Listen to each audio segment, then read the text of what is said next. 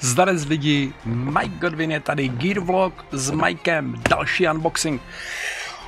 Já jsem, eh, já jsem zažil takový osobní dilema.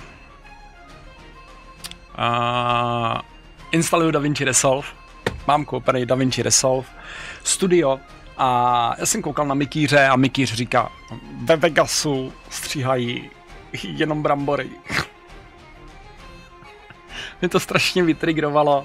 Uh, Mikýř stříhá v Adobe Premiere, já jsem Adobe opustil, víceméně přešel jsem na produkty Affinity, takže Affinity Photo, Affinity Design a Affinity, to poslední je Affinity Publisher, Velikánská spokojenost. Jsem dlouholetým uživatelem Photoshopu, tady se nedá mluvit o nějakým amatérským používání, tady se mluví o tom, že dělám grafiku pro firmy, dělám webové stránky a podobně a fakt je, že ve spoustě věcí uh, Affinity Photoshop nedohání, ale obráceně a sakra obráceně ve spoustě věcí Affinity, Photoshop, uh, obecně Adobe produkty předhání.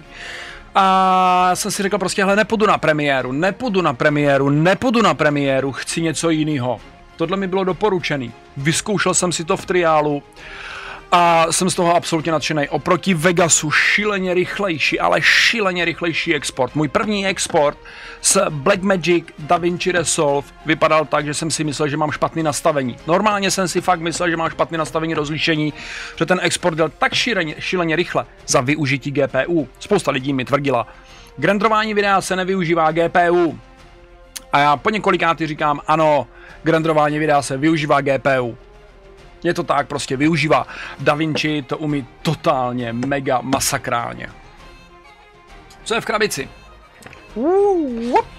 V krabici je takhle usazená klávesnice, plus návody, plus USB-C cable. To všechno je super. Klávesnice je těžká, fakt těžká. Jakože je to hamatný kus uh, zařízení. Střížna. OK, normálně stříhová klávesnice, což je absolutní pecka totálně boží pecka. A já jsem z toho fakt nadšený. Fakt totálně nadšený jsem z toho. Speciálně z tohohle kousku hardwareu. Ze střižny samotné jsem úplně na vohrabky. Jo, to je fakt neskutečný nářez. Pak je tam ještě jedna důležitá věc.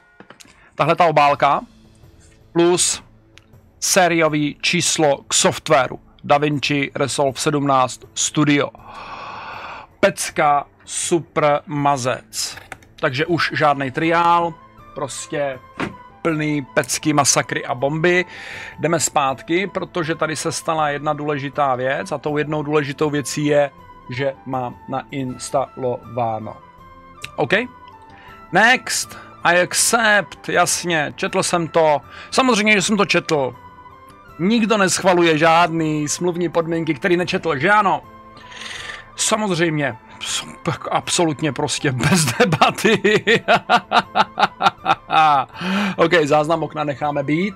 A DaVinci Resolve.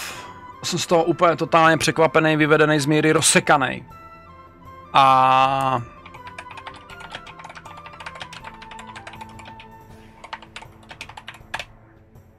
upřímně těším se na to. Hned si spolu teďka dáme první zkoušku ve střižně a, a budeme zjistit, co a jak.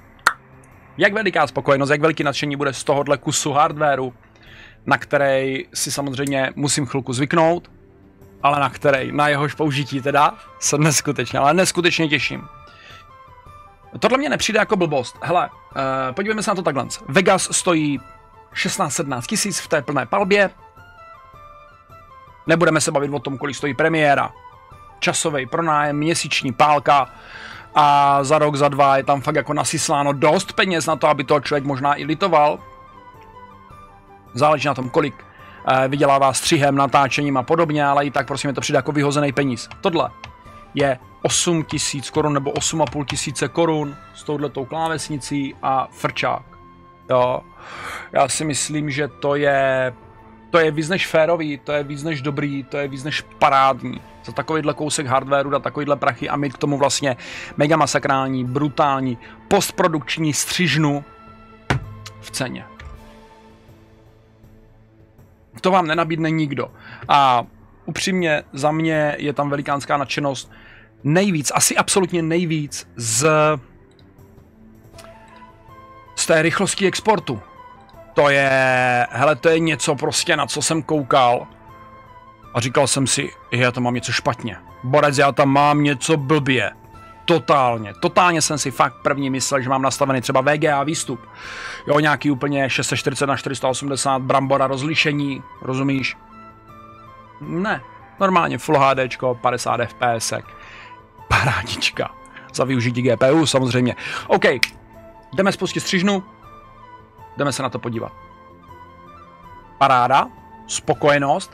Diody mě svítí vzhledem k tomu, že mám docela nízký procento baterie, poslali mi to z nulou, chvilku si s tím tak teďka hraju, abych nebyl za úplnýho joudu, tak to musím nechat nabít, nepřipojím to prostě teďka na Bluetooth, takže frčíme směr USB-C do USB-A v počítači, jinak přiložený kabel je USB-C, USB-C, OK? Mechanická klávesnice, mechanická, to znamená, switche jsou celkem tichý. Jo, což je super, to je výborný. Hlavně nesmrtelný, skoro díky tomu, že za ty prachy jako bylo by dobrý, kdyby to tak bylo. Tohle je kovový, pecka, teď byli slyšet, vlastně nebyli, bylo to slyšet jenom u mě v reprácích, vy to uslyšíte až za chvilku. Eh, posun na časové ose, všecko se děje, i když nemám teďka primární okno eh, na Resolve, tak přesto mě pohybuje časovou osou v Resolvu, takže klávesnice čistě a jen pro Resolve, OK, nikde jinde ji prostě nepoužiju. A no to je všechno. Takže pojďme semka. A pojďme přehodit okno.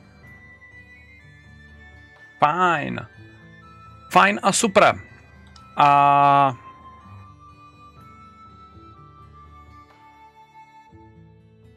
Jo? Bomba.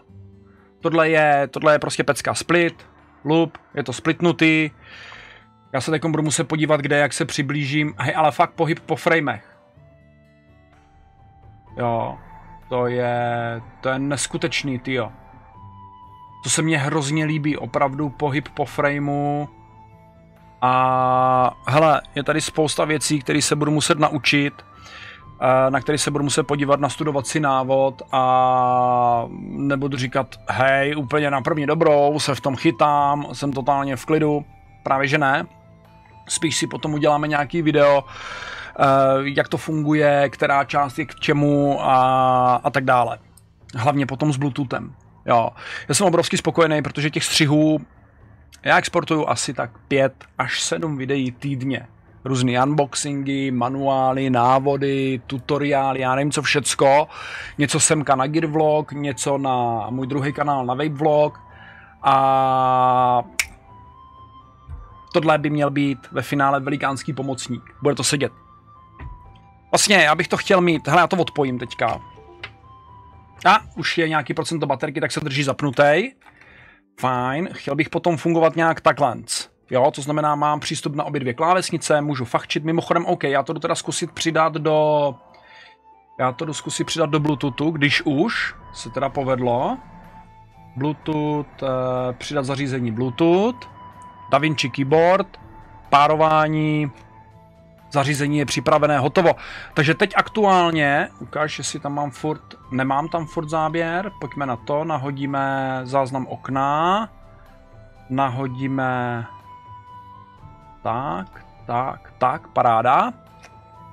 A jo, jasně, fachčím, fachčím na Bluetoothu.